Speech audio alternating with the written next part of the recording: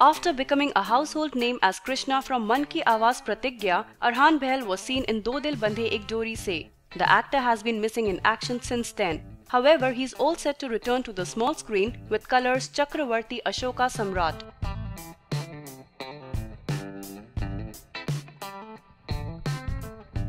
Sources inform that Arhaan will play Chandragupta Maurya. It will be a special appearance and he will soon start shooting for the show. When contacted, Arhaan remained unavailable for comment.